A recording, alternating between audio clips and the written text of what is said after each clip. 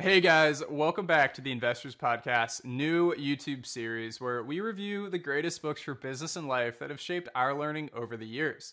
Hi, I'm Shawn, and this channel is all about the principles of investing. From stock tips to iconic billionaires, the best strategies, and our favorite tools, the Investors Podcast has everything you need to know. So let's get started.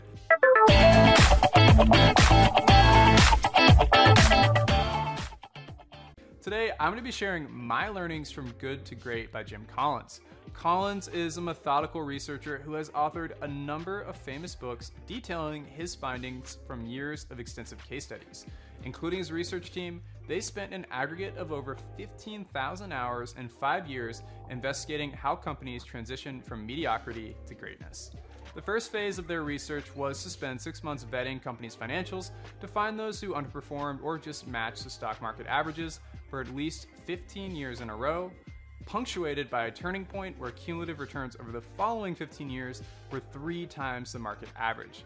This is what he calls the good to great pattern.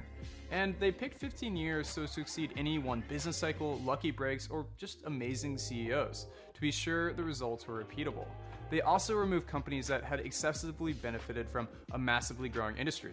They wanted companies that had genuinely turned themselves around without the outside support of non company specific conditions.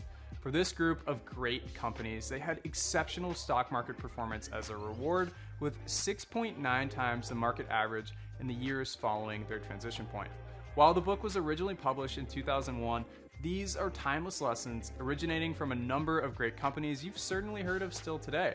And if you're a stock investor, you'll in particular want to look for these traits in the companies you pick. Well, let's find out what makes the best companies so great, and be sure to check out our other book reviews in the links below after this video. Many people don't have great lives because it's too easy to settle for just a good one, and many companies never become great for the same reason. Many great companies have always been great, while most good companies have always just been good. So Collins asked himself, can companies ever transition from good to great? Picture a stock chart for a company that's flat on the left, then pivots dramatically and takes off. On a second chart, envision a company also with a flat stock price on the left, but this one continues being flat. This is the visual difference between good and good to great. Collins' list of good to great companies is just 11 spots long, including Abbott Labs, Circuit City, Fannie Mae, Gillette, Kimberly Clark, Kroger, Nucor, Philip Morris, Pitney Bowes, Walgreens, and Wells Fargo. If you'd invested $1,000 in a mutual fund of these so called good to great companies in 1965, by 2000 you'd have had $500,000. Interestingly, many of these amazing results came from companies that had had years of mediocre stock performance. So, why did these companies become great while many of their peers did not? Well, this is one of the main questions the book hopes to answer. For the second phase of their research, Collins' team contrasted the set of good to great companies with a list of peer companies who they competed with at the time. Within this list, it was split into two sets of comparison companies. The first set is of companies that were in the same industry during the same time with similar size who failed to become great. And the second set are what he refers to as unsustained comparisons companies that made short term transitions to greatness who failed to stay that way for an extended period. For phase three of the research, they deeply analyzed each good to great company and their comparison sets through interviews with the executive teams during these periods, while considering metrics such as financial ratios, layoffs, and executive compensation to see what was significant. With all of their data and analysis, his research team then spent weeks debating and discussing each takeaway for these companies derived directly from their findings.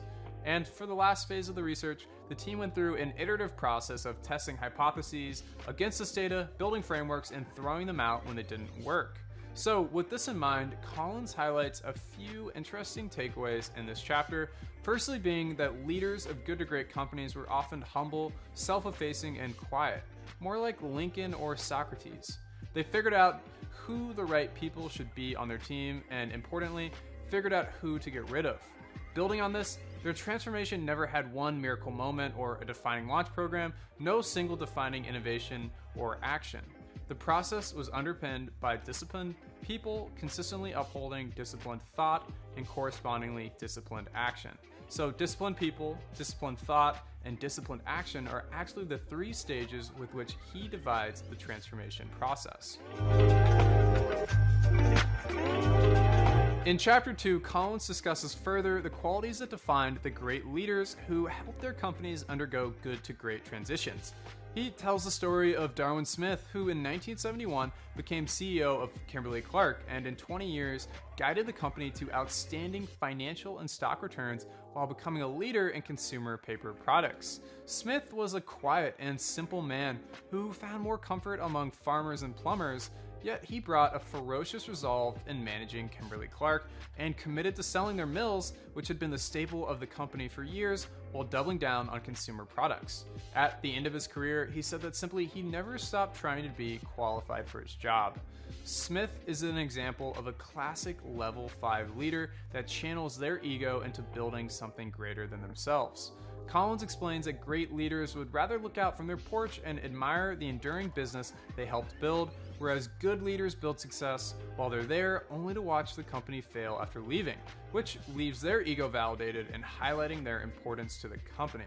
See the company Rubbermaid as an example of this. After 40 quarters of growth and reaching greatness briefly under their CEO, when he left, in less than a year, the company began to crumble. Rather than evidence of this CEO's greatness, we should see this as a failure to build an enduring organization. In over two thirds of the comparison cases with non great companies, these firms had gargantuan personality leaders who may have boosted temporarily their performance only to ultimately drag the organization down. This pretty well describes Lee Iacocca, who saved Chrysler and found temporary greatness there until he pivoted to focusing on self promotion and telling the story of their great success. He wanted to be known as one of the best CEOs in American business history while spending his time touring television shows and writing books that launched him to rock star status. While his personal stock soared, Chrysler stock underperformed the market by 30%. Only a buyout from Daimler Benz would save the company from his mismanagement. Level 5 leaders aren't just modest and humble, but rather they're ferocious leaders with unparalleled resolve. These are fanatically driven individuals with uncompromising commitments to producing results. These leaders are intolerant of mediocrity. See Charles R. Walgreens III, who realized that the company's future lay in drugstores, not restaurants. In one meeting, he declared that the company had five years to be out of the food service business, despite having over 500 restaurants at the time. And a few months later, when he overheard an employee discussing that they had just five years to complete this dramatic transition, he said no. Now you have four and a half years. Charles was a plow horse, grinding away relentlessly, while most leaders at mediocre companies are just show horses who focus on aesthetics. Out of 500 companies on the Fortune 500 list, only 11 companies made the list for good to great, and each one had a level 5 leader during their transition period. Harry Truman has an excellent quote here for describing these leaders. You can accomplish anything in life provided you don't mind who gets the credit. Chapter 3 is titled First Who, Then What, and emphasizes further the value in getting the right people first before trying to launch business initiatives. Collins uses a bus metaphor to capture this and explains that it matters less where you're taking the bus and more about getting the best people on the bus. People should be on the bus because they want to be with others on the bus, not because of a fixation with the destination. The right people don't need to be motivated, guided, or disciplined. They will have an inner drive to create something great. If you have the wrong people, it doesn't matter whether you find the right direction, you'll still have a poor company. A good vision with the wrong team trying to manifest it is doomed for failure. Collins highlights a number of examples where companies had similar strategies but different people, and as a result, had drastically different results. Quote, the moment you feel the need to tightly manage someone, you've likely made a mistake. Letting the wrong people hang around in all their inadequacies is unfair to the right people on a team as they're forced to compensate for them, and worse, you may even drive away the right people out of frustration. Good to great companies show the following pattern in management. They had more people who stayed on the bus longer, or more people who left quickly. These companies didn't churn more or less, though, but rather they churned better and they spent extensive time first assessing whether someone was in the right seat on the bus before deciding what to do with them. As Dave Nassif of Pitney Bowes put it, I used to be in the Marines, and the Marines got a lot of credit for building people's values. But that's not the way it really works. The Marine Corps recruits people who share the Corps' values and then provides them with the training required to accomplish the organization's mission. Great companies think about people the same way. On the other hand, mediocre companies had a quote, genius with a thousand helper models, as geniuses often don't want to help build a great caliber management team since they can come up with great ideas themselves and just need an army to implement them. Walgreens had a leader who was masterful at developing superstar teams and a great successor, whereas their competitor and Eckerd had a genius leader who held all of the company's plans inside his head. When he left to work in politics, Eckerd deteriorated quickly until later being saved by a bailout. The difference here is in building an organizational culture devoted to having the best and right people versus one that's wholly dependent on a single, very capable individual who ultimately undermines the company's long term success. So, in other words, invest in a great system, not an emperor who is the glue holding the organization together. Chapter 4 is called Confront the Brutal Facts, and it starts with a quote from the famed Winston Churchill There is no worse mistake in public leadership than to hold out false hopes soon to be swept away. For Churchill and his struggle to defeat the Nazis, he embraced facts first more than anyone. He worried that people reporting to him would hesitate to deliver bad news or otherwise salute the reports, so in anticipation, he established a special office devoted solely to unbiasedly collecting relevant wartime statistics to share with him. All he wanted were the facts, just the facts. For the Pitney Bowes executive team in their annual meetings, they would spend about 15 minutes reviewing the past performance from the year before, and then two hours diving into the various possible obstacles they would have to face in the future. Collins describes them as being almost neurotic and unwilling to be complacent, even in the face of tremendous success. This is what it takes to go from good to great, though. You just see the facts before you and embrace tackling them rather than hiding behind past performance. So, this leads into one of the book's most powerful ideas, what Collins calls the Stockdale Paradox. He describes the various struggles and challenges each good to great company had to overcome and reflects that management teams both accepted stoically the brutal facts of reality while remaining unwavering in their perseverance. So, the paradox captures this essence and specifically refers to Admiral Jim Stockdale, who was the highest ranking US military officer held in the Hanoi prisoner of war camp, and he was imprisoned for over eight years and tortured at least 20 times. So he created an elaborate internal communication system with other prisoners similar to Morse code that allowed him to help preserve morale among the many men. After his release, he earned a Congressional Medal of Honor, and Collins actually met Stockdale, who says that despite it all, he never lost faith in his eventual return home. When Collins asks who didn't make it out, Stockdale replies, quote, the optimists. Those who set expectations for their exit and maintained unrealistic hopes would eventually wear themselves down until they died of a broken heart. Stockdale says you must, quote, never lose faith that you will prevail in the end, that you can never afford to lose, with the discipline to confront the most brutal facts of your current reality, whatever they might be.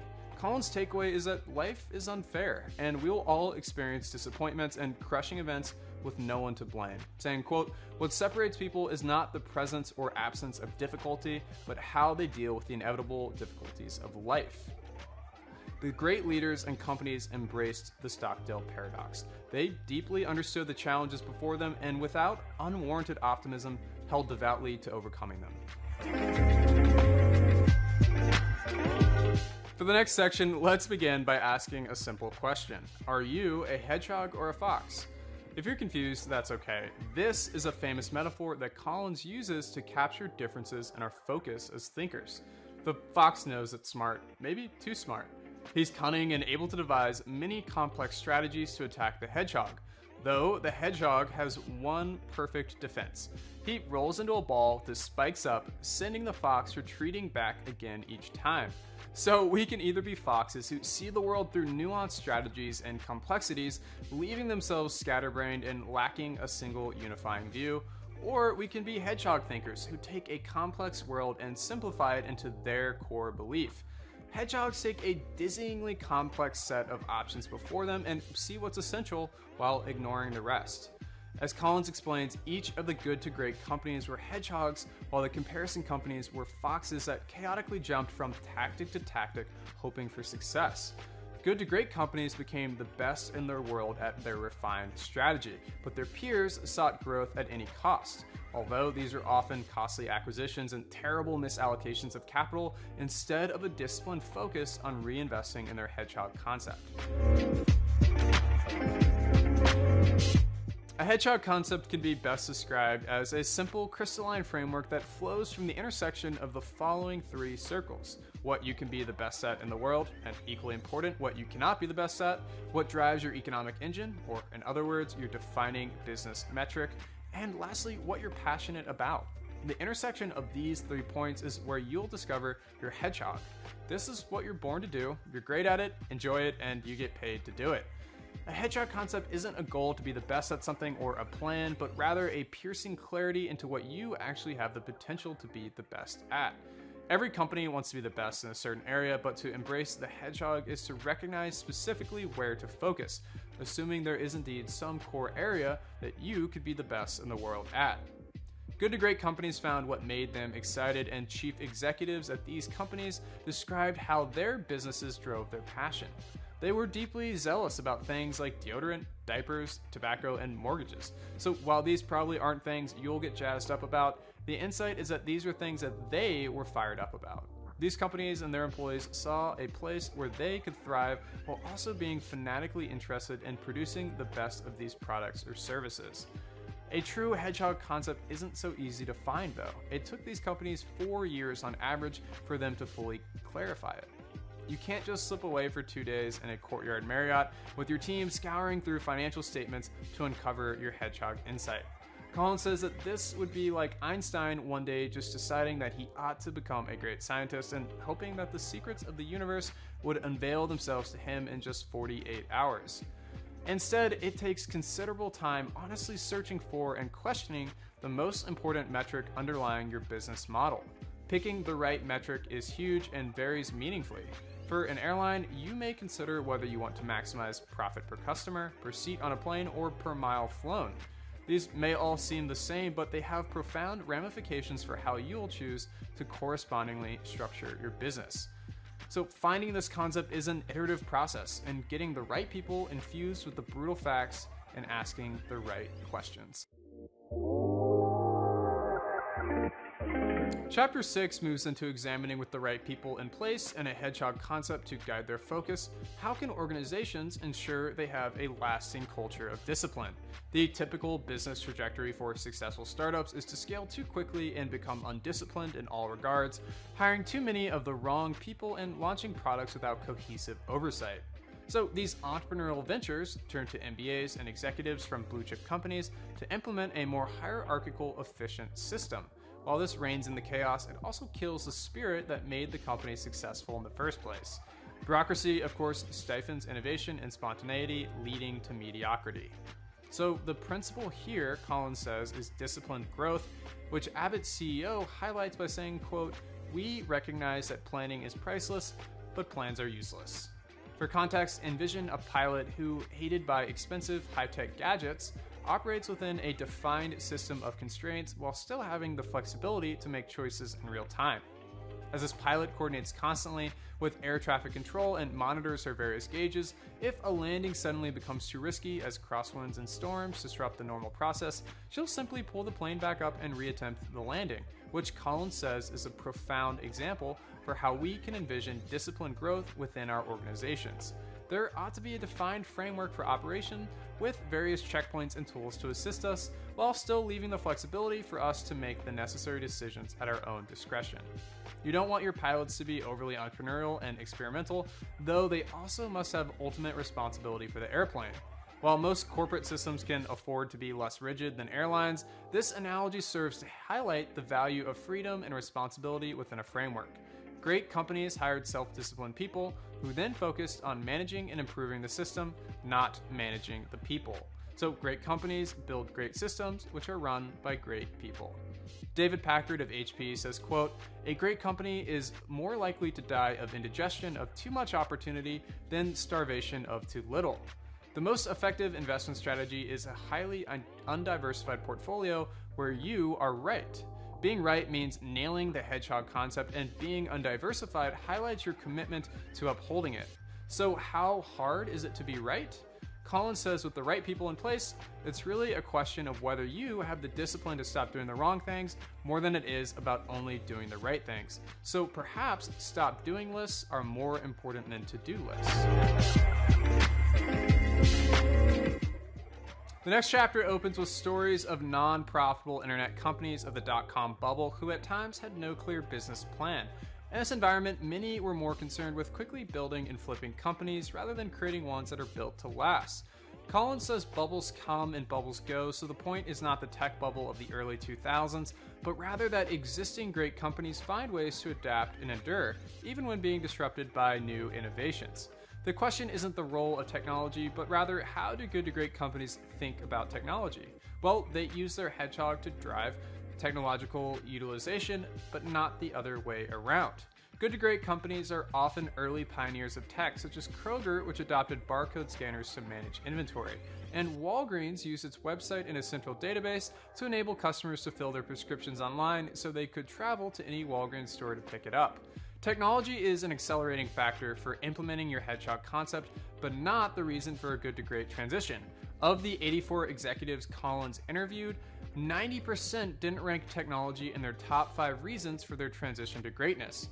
While the media sought to attribute their success to their technological prowess, the good to great companies seldom spoke of it. Consistency and philosophy, unencumbered by layers of hierarchy, were often seen as explanations for success, in addition to having the right people with the right mentality. Like winning the Daytona 500, good to great companies are about the drivers and their teams, not just who has the best cars. Chapter 8 introduces another famous concept from this book the flywheel. Imagine a large metallic flywheel that you must push on. At first, it's incredibly difficult to turn, but turn after turn, it builds momentum and compounds your investment of effort. It soon flies forward with nearly unstoppable momentum. If someone asked which push was most significant, well, the question would be ridiculous. Each one contributed marginally, but the effect built on itself over time. Good to great is a cumulative process like turning the flywheel. The media doesn't tend to cover the flywheel until it's already spinning at great speed, which distorts our perceptions of how easy and common it is to find success. Overnight success stories are seldom overnight and typically take years and decades to build to enough significance to be noticed by the outside world. A company's direction doesn't change overnight and may not even be clear for several years, but there are thousands of little pushes on the flywheel until enough momentum is built to be noticed. As an example, Collins tells the story of the legendary UCLA Bruins basketball program, which won NCAA championships 10 out of 12 years in a row under John Wooden. But Collins highlights that Wooden had coached the team for 15 years prior to this greatness as he worked in relative obscurity. During this time, he built his team slowly, focusing on refining their strategies for the full court press and recruiting great talent. At each good to great company and for any great organization, there's always a build up period that sets a stage for the breakthrough. The flywheel effect, with building tangible momentum and results, serves not just to ingratiate support from the outside world, but also to improve internal morale as employees increasingly see the fruits of their labor and become more deeply invested in the hedgehog concept. So, if you want to kickstart your own flywheel and learning more every day, my favorite tool is Audible. I used Audible to quickly listen to this book, and it's helped me read dozens of books while on the go. If you're new to Audible and looking to read great books like this one, check out our sign up link below. For the last chapter of the book, I'd like to invoke a quote from the great Pablo Picasso It's your work in life that is the ultimate seduction. Your work in life shouldn't be about just making money, but as is hopefully clear from this book, the members of truly great organizations found purpose in their unified mission. Using Hewlett Packard as an example, the company in the 1950s decided that its sole aim would not just be profits. At the time, this sort of stakeholder capitalism was quite radical, as most businesses were constructed only to elicit profits for shareholders. Instead, the company's two founders took the most pride in their ability to provide teachings and examples for other companies on how to better manage their organizations. They had a purpose for existence beyond profits and cash flows. Collins describes profits and cash flows as the blood and water vital for life, but they're not the purpose of life. Enduring great companies, of course, maintain profitability to survive, though they found greater purpose and motivation in both internal and external aims. Collins clarifies that it matters less what your core values are, whether in respecting employees, maximizing customer enjoyment, or seeking to clean up the earth. What matters simply is having these qualitative values to motivate you. Perhaps this then begs the question why greatness? Why should we not just be content with being satisfactory? Collins suggests that it actually takes no additional effort to build a great business rather than just a good or mediocre one. Great companies actually simplify their operations, which makes managing them easier. So, this book is not meant to create a list of all the additional steps necessary to build greatness, but rather to show that with focused, deliberate actions utilizing your current input effort, you can build an organization that produces even better outcomes for all involved. The point is to realize that much of what we're doing now is at best a waste of time, so why not then strive for greatness? The pursuit of greatness gives our lives meaning while participating in something truly first class. When you find the right passion and truly believe in its purpose, you'll naturally be inclined to make it great. So the question isn't really why greatness, but rather what makes you compelled to try and create it. That's it for this week, guys. I hope you enjoyed this video, and I'd really encourage you to read the book for yourself. If you do, make sure to use our link below to purchase a physical copy or use our Audible link to listen to it. Please also like, subscribe, and share your comments below if you liked it. We love hearing your thoughts, so tell us what are your biggest takeaways from this book, and which book should we review next? For more on Good to Great and Jim Collins, listen to Preston and Stig's classic We Study Billionaires podcast on the book and on episode Trey Lockerbie interviews Collins directly. See you next time.